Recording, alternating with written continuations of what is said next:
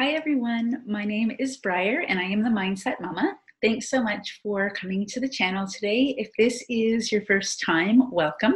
Um, I always forget to say this at the end, so I'm going to say it right off the bat. Um, if you would like to be notified of new videos when they are posted, um, please hit the subscribe button below so that we can visit more frequently. And as always, the best compliment is a thumbs up or a share of the video. So Today we're going to talk about organizing.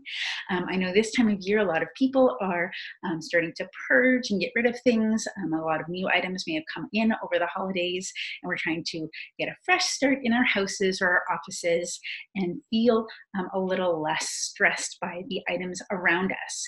And for myself, I, I love to organize. I love to um, declutter. It is a hobby of mine um, and it started years and years ago. Uh, I wanted my house to feel feel like a sanctuary. I wanted to be able to come home and walk in the door and feel calm and relaxed. And instead, I was coming home and I was opening the closet to put away my coat. And every day I would just feel overwhelmed by the amount of stuff inside this closet. So I started there. I started with just our front hall closet. And the lovely thing about um, starting with decluttering and organizing is that when we organize one small space, it motivates us to keep going. We feel the energy shift in that area of our house.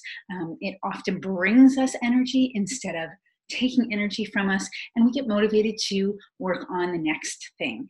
So, one of the tips that I always tell my clients um, when we're thinking about our physical spaces is to start small. Start really small. It could be just a junk drawer in your kitchen, it could be your or your children's bookcase, it could be just your basket of hats and mitts and scarves. Just start with one small thing. And the second tip is to pick three. Pick three small areas in your house. Start with one, get motivated by that to move on to the next, and then the third. And then just leave it. Uh, let that simmer and sit for a while. Experience what it feels like to live with those three new areas. Um, and then decide if you're ready to move on to the next stage. And we can do this slowly. Take your time. There's no need to do your entire house at once or even a full room at once or even your entire closet at once, right? Um, just start small, get started, make that small first step, and it will motivate you to keep going. Now, a couple quick benefits of organizing and, and clearing your physical space. Um, number one is that energy I talked about, having a better energy flow. Number two is that things are easier to tidy up. It becomes a lot faster, so you're saving yourself some time and, and energy in terms of tidying every day. Cleaning becomes easier. You know, you can vacuum a carpet a lot quicker if there's nothing on it. You don't have to tidy before you vacuum. Um, you know, we all had, I'm sure, at some point in our lives having to clean up before the cleaners came to our house, if you've ever had a cleaner come. Um, and we want to make sure that that doesn't have to happen, right? That everything is in its place and we can quickly and easily clean our home. And then um, the cleanliness in our air, our air quality is a lot better when things, uh, when we have less things in our house um, and when things are clean and tidy, right? There's no dust accumulation. The air is just cleaner for us to be breathing in every day.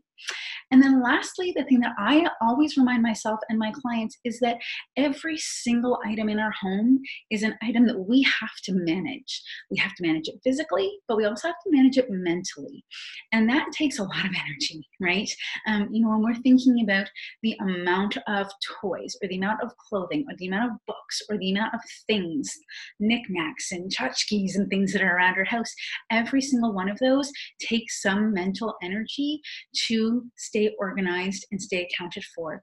And the less we have to do that, in my book, the better, right? Um, when we can keep things as simple and as easy as we can, and then we have a lot less stress and a lot less overwhelm.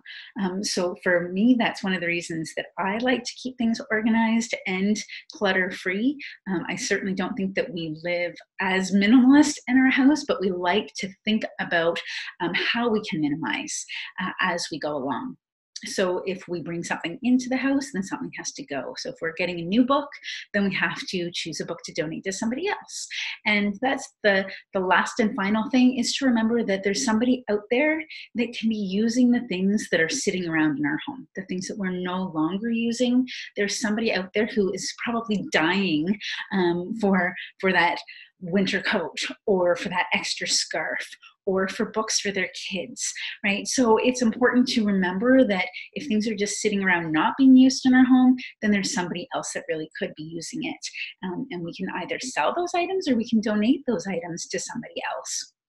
So, what I want you guys to do today is to pick at least one or up to three, no more than three, small areas in your house to get started with to start that organizing process. And remember to start small so you don't get overwhelmed, right? And we're going to pull out anything that you're no longer using that somebody else can can use we're going to discard any garbage that might be. There are things that aren't in good enough shape to be donated and then we're going to organize how the things that you have left go back into the space whether it's on a bookshelf or in a cupboard um, or into your kitchen cabinets.